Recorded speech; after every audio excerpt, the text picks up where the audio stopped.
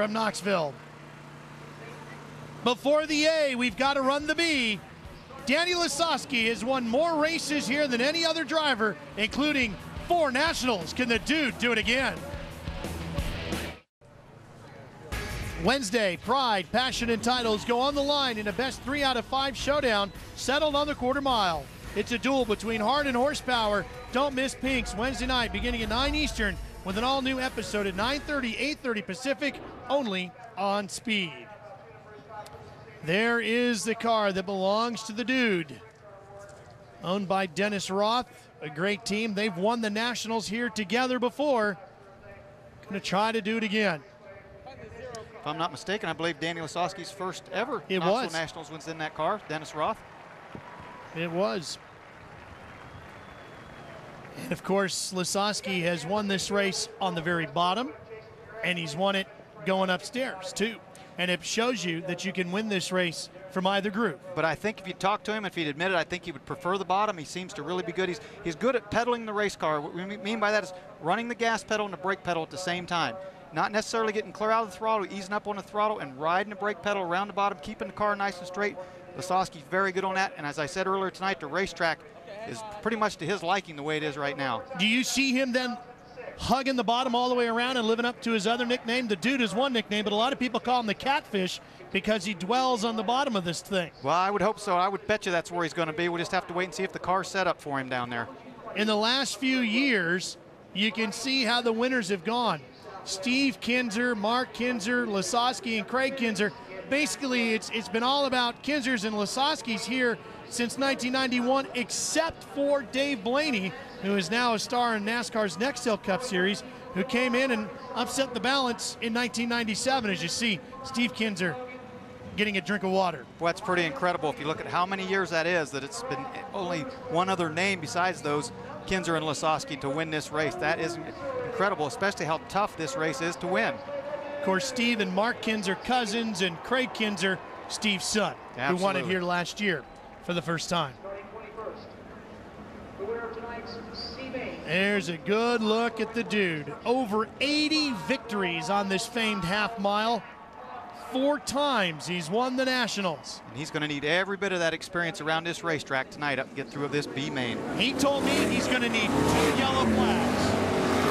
Well, he's going to, I, I would say at least two yellow flags, but obviously a lot of things have got to go his way. Those yellows have got to fall at the right time also. He said if he can pick he'd like to see one about lap six and one about lap 11. Where he doesn't want to see him come and say he gets a big run through a corner gets by two or three cars and the yellow comes out. These cars, they have to complete the lap. To be scored for that lap, he would get sent back behind him. So when he, if you make a big move on somebody, the last thing you want to see is a caution flag. So again, they have to fall at the right time for him.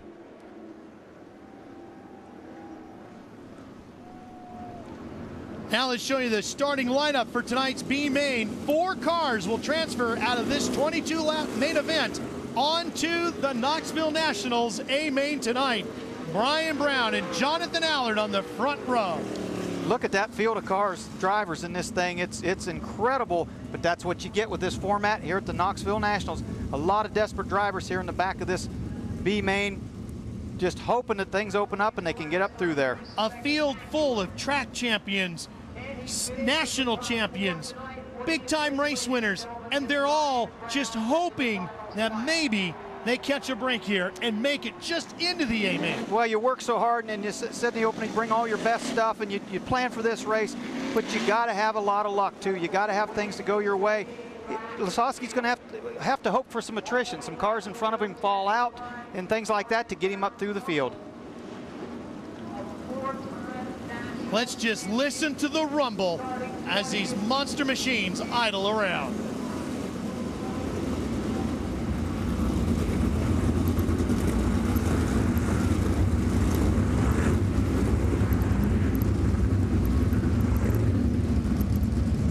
The one thing about driving a sprint car is you better be pointed in the direction you want to go when you drop the hammer because you're going to be there in a hurry. The weight to horsepower second to none in these sprint cars.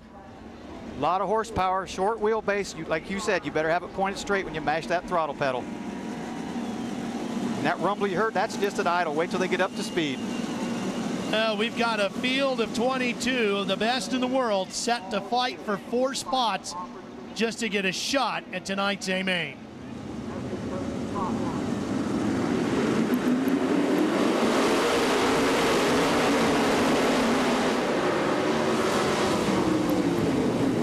And Clark didn't like that start.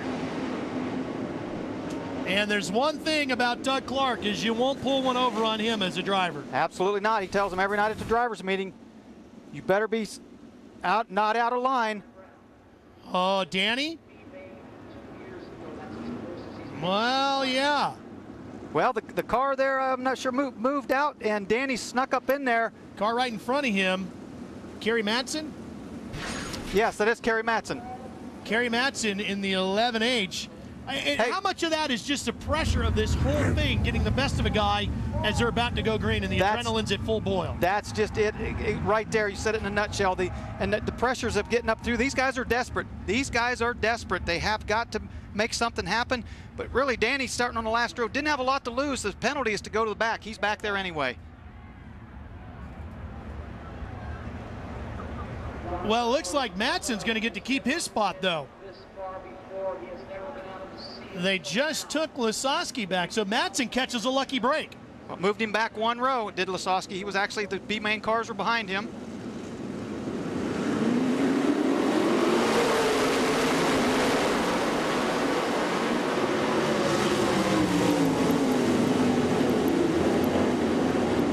Boy, Brian Brown with a Oh, great start and contact early. Allard in the zero. He's had troubles and frustrations all night. Here come the guys from the back of the pack, firing up through the field. Here comes Madsen the 11H on the outside. He's picked off a half a dozen cars already. Lasoski way up high. Still just finally getting around the first car, and he hasn't completed that pass yet till now. And you saw Brooke Tatnell on the bottom also coming out up from the back of the field. Boy, he can't waste any time. He's just gotten around Skip Jackson. Two laps are already completed. You got to you got to get a lot more than that. Three wide almost as we come off of two. That's Jack Haudenshield in the 35. He also came out of the B main as we saw. Todd Schaefer in there in the 77 as we go back to the front with Brian Brown. Actually, the C main, I should have said Haudenshield came out of the C, start in the back of this B. Remember, Look four cars will transfer. Brian Brown, Shane Stewart, Jeff Shepard, and Travis Riley hold those four spots right now. Those four golden tickets to tonight's A main event. There's Riley in the white 29, one spot out of it. Jonathan Allard in the zero. Oh, and around he goes. Oh, just Gary Wright in the nine car just squeezed by on the outside. Well, there's the first caution Lasoski was hoping for, but he's only picked off three cars. He's going to need a few more. And poor Jonathan Allard, boy, his night just keeps spiraling out of control. Yeah, they had the, the engine trouble earlier. That might be the, what's the reflection we're seeing here. They so they focus so much on their engine and the misfire in their engine. They had to let the chassis work and all the tire selection, all that stuff go while they're working on the engine, and that might be the result of it here. That car definitely not very fast, and as he loses the handle there out of the turn four. There's Lasoski. He's going to have Jack Haudenshield in that 35 right in front of him, and in front of that is Ricky Stenhouse Jr. Well, Jason Meyers has already made it into the A main tonight, Dave. The good news is you're not in this race. Jason, tell me, what do you have to do to win this race from fourth spot? Well, I think you're going to kind of have to bide your time there a little bit tonight. The track looks really, really good. It's going to be really wide, and it's slowing down a little bit, so that's going to make for really good racing. Hopefully, we just kind of fall in place here at the beginning, bide our time a little bit, and uh, save the tires for the end. The last 10 laps are going to be real important when the fuel load comes off. How important is this race tonight coming up in the scheme of an entire season of racing? Well, I mean, this is everything. This is the Knoxville Nationals. There's nothing else you can say about it. This is the one you want to win. Uh, it's not about the money. It's not about anything. It's about winning the Knoxville Nationals. And uh, this one's real important to us. We got a lot of great sponsors behind us and a great team. They worked really hard for it. And I'm just hoping I can bring it home for them tonight. Jason Meyers outside of second row. Watch for that 14 car. Look at the packed grandstands here at the 46th annual Knoxville Nationals presented by the Midwest Ford dealers. Every year, this town of just 8,000 people gets invaded by these sprint car fans with such a passion for this race.